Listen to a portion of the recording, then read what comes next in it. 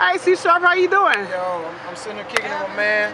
Good you know to what see you, I'm Missy saying? Sharp. Haven't seen you since you did the performance for the kids down at the High Learning. Yeah, and I appreciate that opportunity. Be more than happy, more than oh, welcome. And from oh.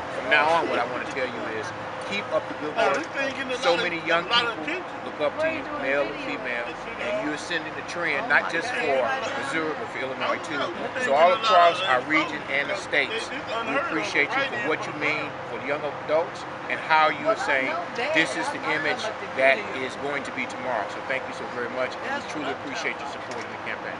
And to add to it, I'm not into politics. I'm not into legislation or anything like that.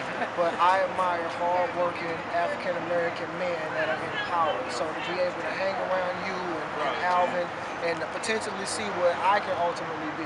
You know what I'm saying? Even beyond this hip hop phase of my life, just lets me know that you Oh, yeah. anything's possible. So You're right. I appreciate that. No problem. Thank you very All much. right, that's Thank you. Mr. C Sharp here in uh, East St. Louis, Illinois. And Mr. Joe Lewis. That's me. Who's the East St. Louis City Treasurer, That's running, running for re-election. We want to thank y'all very much for taking time out for the youth and That's for the city of East St. Louis. It's Erica Brooks. Today is March days of 25th. nonviolence. Her. Today is March 25th, 2015. It's Erica Brooks. Peace out. Peace out.